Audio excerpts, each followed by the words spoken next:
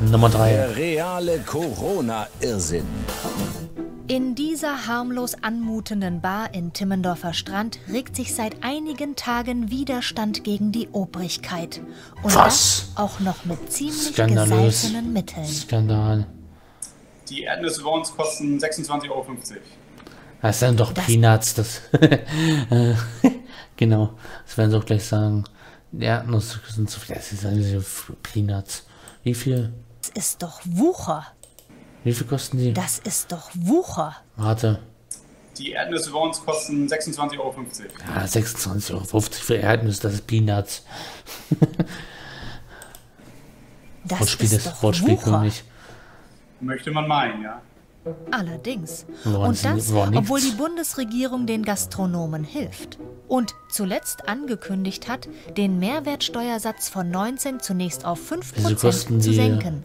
Gilt aber leider nur für Speisen. Da es eben Und zu Erdnuss ist keine Speise. gibt, die aktuell noch gar nicht geöffnet haben und die eventuell auch gar keine Speisen servieren, somit gar keine Möglichkeit haben, dadurch Geld wieder reinzubekommen, äh, haben wir als Protestaktion beschlossen, nur noch Speisen zu verkaufen. Protest, papalapap.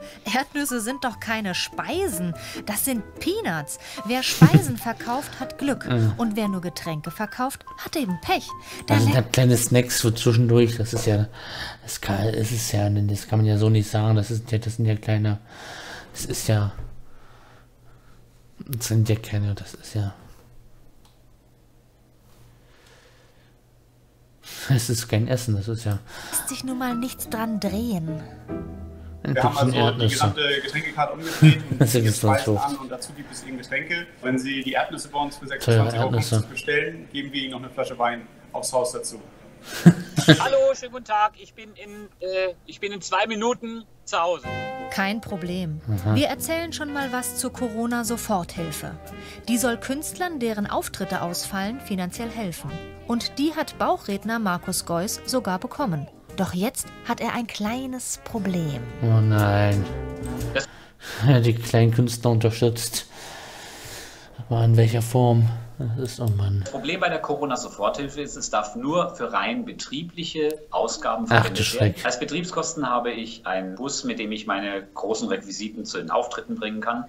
Ich habe Lagerräume, ich habe ein Büro, aus dem ich alles äh, organisiere. Und das Ganze benötigt natürlich Strom, Heizung, Internet, Telefon und so weiter. Ist doch super. Die Soforthilfe hält den Betrieb am Laufen. Und dafür, dass bayerische Künstler nicht verhungern, setzt sich Krisenmanager Markus Söder ein. Das reicht dann wieder nicht. Das reicht dann nicht fürs, fürs Essen. Und, Ja, es ist ja nur fürs Betrieb und das Essen. Da erhalten die Künstler für die nächsten drei Monate 1000 Euro pro Monat als Unterstützung. Ich sage ganz ausdrücklich, Bayern ist ein Und selbst das Kulturstaat wahrscheinlich. und wir wollen die Kunstszene und die Künstler nicht allein lassen, meine sehr verehrten Damen und Herren. Jetzt im Nachhinein äh, ist es blanker Hohn. Was gibt's denn da zu meckern? Zum Essen was und Leben gibt es nochmal zusätzlich Künstlerhilfe. Ist doch toll. wenn man sie bekommt. Bei der Künstlerin Ah, ist das ja, Problem, dass wir 3000 Euro insgesamt bekommen können. Wenn man aber Corona-Soforthilfe für Betriebsausgaben Das habe ich gehört, wenn du das eine beantragt hast und das eine bekommen hast, dann hast du den Anspruch, automatisch den Anspruch auf das andere verwirkt. Das ist dann, dann, kriegst du das dann, äh, ja, also angeblich bekommst du beides, aber wenn du das, wenn du, du damit, dass du das eine beanspruchst, äh, unterschreibst du auch, dass das andere, äh, das ist echt. bekommen hat, Schön. die über dem liegen, bekommt man gar nichts. Ach so, wenn es über dem drauf liegt, also wenn du, wenn du zu viel bekommst, wenn, wenn das Amt, die, wenn, das, wenn das Land dir zu viel bezahlt, dann bekommst du. Damit, du kannst ja mit dem Rest, was du was zu viel bekommen hast, kannst ja, kannst ja dann, damit kannst du ja dein Essen bezahlen. Oh Mann. Künstler lebt doch vom Applaus allein. Essen ist da nicht so wichtig. Von Luft und Liebe. Na, was soll was essen? Der ist dick genug. Ein bisschen Diät hat noch keinen geschadet. Apropos Essen, zurück in Timmendorfer Strand. Was ist denn, wenn jemand von den Erdnüssen nicht satt wird? Wir hätten auch noch eine leckere Tüte Chips für 8,50 Euro. Und dazu würden wir den Aperol Spritz anbieten. Na dann, guten Appetit. Äh, es ist herrlich. Ja, Corona-Regeln manchmal echt unverständlich. Es ist echt, es ist echt manchmal ja, Ehrenpflaume. Das, wenn ich es mir nicht schon angeguckt hätte, könnte man das sich nochmal geben, aber das dauert eine Stunde. Kann man nicht darauf reagieren. So, Teil 4 brauchen wir noch. Das wollen wir noch sehen. 5 haben wir schon. Wo haben wir hier Teil 4? Hier. Reale Irrsinn, der gesammelte Corona-Irrsinn. Extra 4. Teil 6 gibt es wahrscheinlich noch nicht. Teil 5 haben wir schon gesehen. Hey Modi! Ah ja, der Künstlerbonus in der Corona-Special-Folge. So, der gesammelte Corona-Irrsinn Teil 4. Gut. Let's go. Der reale Corona-Irrsinn. Das ist Familie Heuer aus Lüneburg. Hallo. Tochter Lale besucht die dritte Klasse einer Grundschule in der Stadt. Soweit so klar. Aber jetzt wird's kompliziert. Also am Samstag kriegt wir einen Anruf von der Schule, dass ähm, in der Parallelklasse von Lale ein äh, Corona-Fall, ein bestätigter Corona-Fall ist und dass die, der gesamte Jahrgang für eine Woche zu Hause bleiben soll. Gesagt, getan. Lale blieb ab Montag erst einmal zu Hause. Am Montag kriegten wir dann eine Information. Lale, was ist das für ein Name? Lale. Puh, auch schön, habe ich noch nicht gehört. Lale, Lale, Lale, Lale. Je öfter man das ausspricht, desto will jetzt, will jetzt nicht den Namen, würde nicht das Mädchen runtermachen, aber okay. Ähm, Lale.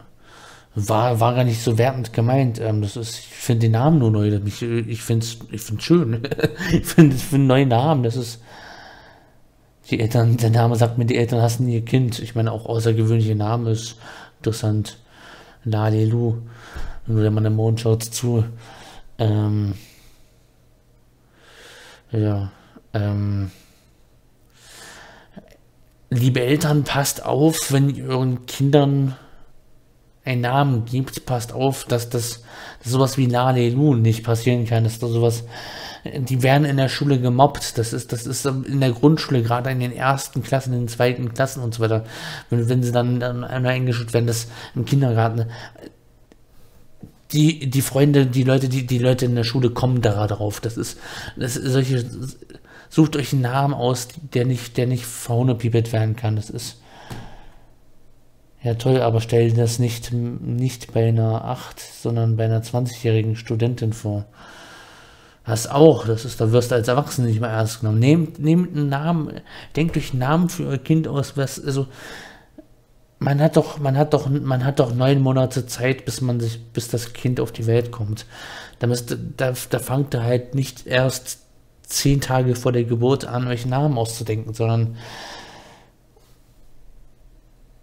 euer Kind wird es euch danken, wenn, wenn, wenn, wenn ihr euch einen Namen ausdenkt, der, ich meine, das, ich meine, wenn ihr das gut findet, wenn das, wenn das, wenn ihr wollt, dass das Kind als Spitznamen Lale heißt, dann könnt ihr, dann könnt ihr es, dann könnt, dann nennt es Narissa oder sowas, da kann es, kann ja auch äh, Larissa Lea oder so weiter und so weiter, das, das kann man, dann, dann kann der Spitzname Lade heißen, also es ist, dann kann man es als, als Eltern Lade rufen oder sowas. Es gibt Möglichkeiten, versteht, versteht, das ist halt, aber das ist halt irgendwie, gebt euch ein, gebt euren Kind einen vernünftigen Namen. Das ist, immerhin war es nicht Ferrari, Gucci oder Reperin. Die sind alle durchgekommen. Was, die geht, das geht? Manche Namen sind ja verboten, die, darfst, die darfst du ja dem, dem Kind nicht geben. Es gibt ja bestimmte Namen. Oder Mad Eagle. Ah, Mann. Ja, machen wir weiter. Der Name ist jetzt nicht das äh, Thema. Von der Schule, dass die Klassen in voller Klassenstärke wieder antreten sollen.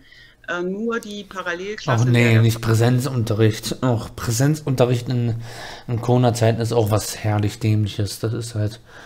Da sollen die Schüler wieder 30 zu 30 in Klassen sein und dann wieder zu 30er Gruppen. Und das ist halt.